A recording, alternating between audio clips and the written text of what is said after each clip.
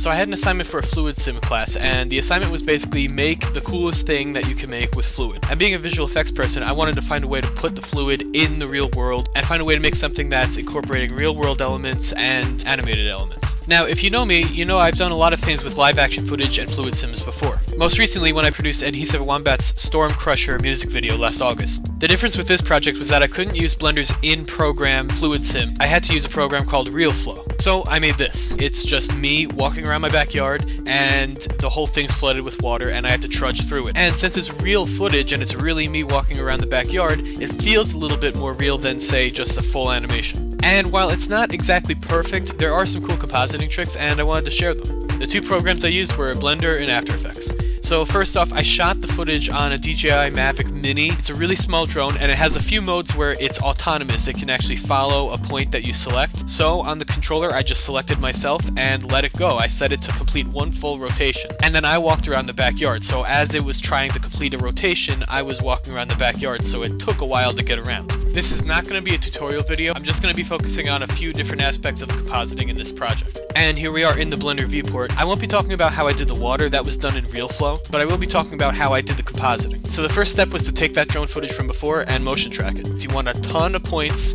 track each one of those points, and then create a camera solve. And what that's going to do is it's going to create a camera in 3D space that matches the real world camera, so that you can start adding 3D elements into the scene. You can see right here how our 3D camera matches the real world camera. So first I needed a few different video elements. The first thing I needed was just a shot of me in the frame without anything else. All I did is use the grass background as a giant green screen basically. So I used the Keylight effect in After Effects to key me out of the background, and then I used masking to take out other elements. And this is what that looks like without anything else. You can see there are some errors like the shadow by my feet, but that doesn't really matter for our purposes. And this right here is a pass of just the background with me removed. This pre-comp right here is just me from before. Then I took the original footage and I set the tracking mask to alpha inverted, so it's going to take the alpha of the thing above it, which is just me, and invert that alpha, and then use that as the mask. So then you see there's just a human-shaped hole in the footage. Then I duplicated the footage and put a copy of it behind that, and just keyframed it so that there's always grass behind me, so I just shifted that footage by a certain amount so that you see grass. And then I used After Effects Content Aware Fill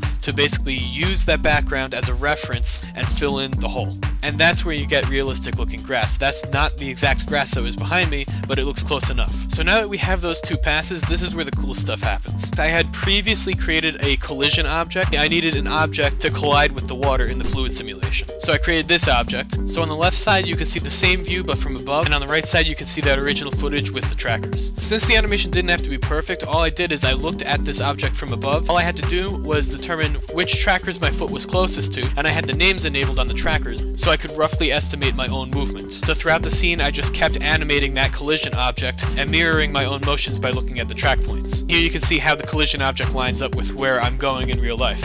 So this plane right here is actually me. I hid the collision object and I just had a plane with the video from before where I'm keyed out from the background just applied to that plane. I'm using the window texture coordinate connected to the video and the video's alpha is being used to mix between a diffuse texture and a transparent texture. So that window texture coordinate, all that's doing is saying from whatever angle you're looking at that plane, project the image from that angle. Since we're using the camera solved camera, it's the original camera just represented in 3D space. I use the child of constraint on the plane to connect it to the collider. I also could have used the track to constraint on this plane so that it would always be facing the camera, but I opted to have a little bit more control over that and just keyframe the rotation so it always faces the camera. The best part of doing it this way is that since it's a physical plane, half of my body is still below the surface of the water just like it would have been in real life. So it's sort of halfway between compositing and actually doing it fully in 3D. Now since the water allows for refraction, meaning light can pass through it because it's water, we needed something below the water that represented the ground as it would be in real life. And for that I'm doing the exact same thing, using the window texture coordinate, connecting it to, this time, the video of just the ground, where I use the content aware filter in After Effects, and projecting it right onto the ground again. And this is an animation showing what it looks like if you were to see the drone camera reprojecting that footage onto the ground from a third person view. Now this animation was created a slightly different way, but it's basically the same concept.